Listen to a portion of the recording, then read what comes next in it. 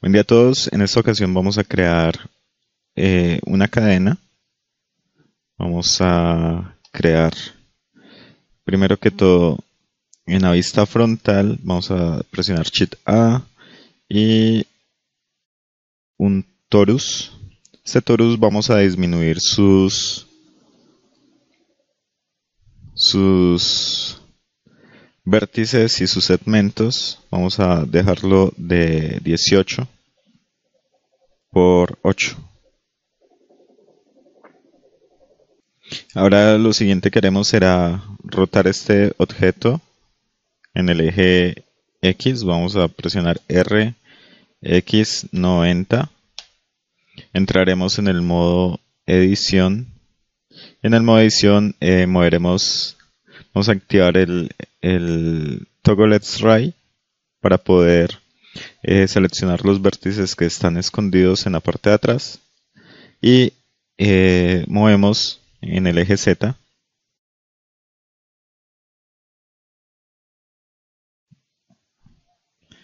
Aquí ya tendríamos nuestro objeto. Pero miren que eh, su vértice central, su eje central está desubicado. Vamos a ubicar el origen y vamos a Object Set Origin, Origin to Geometry para que se centre en la geometría. Vamos a crear un shader al material. Vamos a materiales, nuevo material. Y en los materiales voy a, a coger un color oscuro y voy a subir el objeto metálico, el parámetro metálico al máximo y el roughness lo voy a disminuir y voy a crear un shade smooth a la cadena. Listo. Ahora lo que haré será escalar el objeto dejarlo un poco más pequeño. Y lo siguiente que haremos será duplicar eh, este elemento en el modo objeto. Voy a presionar Shift más D y en el eje Z ubico esta cadena y ahora lo que hago es que la voy a rotar 90 grados en el eje Z. Entonces ya tengo mi cadena ajustada y voy a crear más eslabones, voy a seleccionar los dos elementos, presiono Shift más D y en el eje Z ubico Ahora voy a presionar Shift más R, Shift más R y me va a crear automáticamente más eslabones. En la parte superior vamos a crear un cilindro, mesh, cilindro, y vamos a, a disminuir sus vértices. Podemos dejarlo en 12, 16 es demasiado.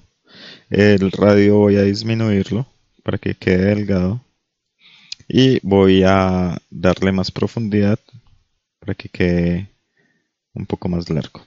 Ahora lo que voy a hacer es que este elemento lo voy a ubicar en la parte superior. Lo voy a mover en el eje Z. Y nuevamente voy a rotarlo 90 grados. Voy a ubicarlo en la, en la parte superior porque de este objeto se va a sostener toda nuestra cadena. Vamos a ver lo que pasa. Y eh, a este objeto también le puedo crear un material. Voy a colocarle un, color metálico, gris. Y ya tendría mi objeto. Mm, aplico un Shade Smooth. Y le puedo aplicar un Autosmooth de las normales. Ya tengo mi varilla que está sosteniendo todo este eslabón de cadenas. Seleccionaremos todos nuestros objetos. Vamos a Object, Rigid Body y seleccionaremos el primero, Add Active. Antes de continuar podemos incluir todos estos dos elementos dentro de una colección. Vamos a presionar M y vamos a decirle nueva colección y le colocaremos eh, cadenas. Cadena, ok, para que nos guarde todo esto en una sola colección. al tener todos estos elementos seleccionados, vamos a darle shape. En collisions shape vamos a escoger mesh para que nos tome la forma de la misma malla.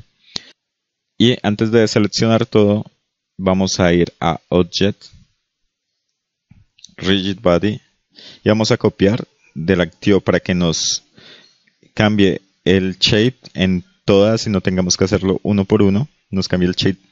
Eh, estábamos en Converts Hull, nos lo cambia a todos en, por Mesh. Entonces vamos a Rigid Body y vamos a copiar from Active. Listo, aquí ya tenemos nuestros elementos. ¿Qué pasaría si yo doy play para ver la simulación? La cadena se cae. Entonces, la barra metálica, vamos a seleccionarla y en Rigid Body, donde dice Settings, vamos a, las dinámicas y vamos a desactivar la dinámica. Cuando yo doy play, nuestras cadenas quedan colgadas de la barra. Ahora crearemos un objeto para que colisione con estas cadenas. Presionamos Shift A, Mesh y escogemos un cilindro. Este cilindro lo necesitamos no tan largo. Podemos hacerlo un poco más grande. Y tendríamos nuestro cilindro. Vamos a crearle un material a este cilindro. Y ya tendríamos nuestro cilindro. Vamos a rotarlo. Voy a presionar R90 y lo vamos a rotar en X ya tenemos el cilindro y lo que vamos a hacer es que este cilindro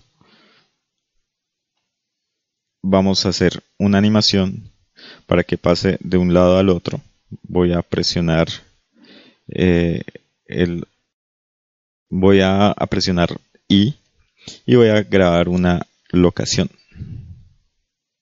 él me crea un shape ahora voy a ir al frame 60 muevo mi cilindro hasta el otro lado, presiono I y locación. Voy a hacer lo mismo para que regrese en el frame 120. Lo muevo un poco más cerca. Presiono I y locación.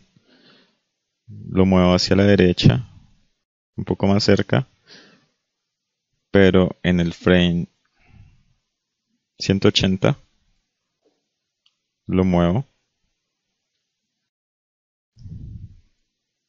y voy a presionar y locación ahora eh, a este objeto que tiene este movimiento yo quiero que colisione con las cadenas pero ahí paso derecho Observen. No se estrella con ellas. Entonces, lo que vamos a hacer, a nuestro cilindro vamos a aplicarle eh, una física rigid body. Si yo le doy play, él va a caer. ¿Ok? Entonces yo no quiero que él caiga, sino que se mueva.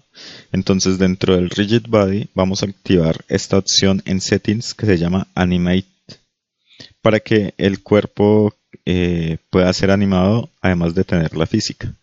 Vamos a dar play y vamos a ver lo que pasa. Nuestro objeto va a colisionar con la cadena, la va a mover Ahí regresa. Y ella nuevamente se va a estrellar contra el objeto. Entonces, eh, aquí estamos viendo que son elementos dinámicos.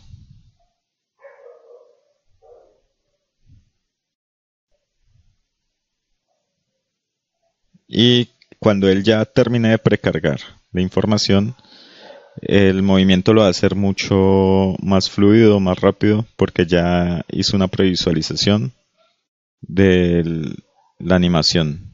Podemos ver cómo el objeto colisiona contra la cadena.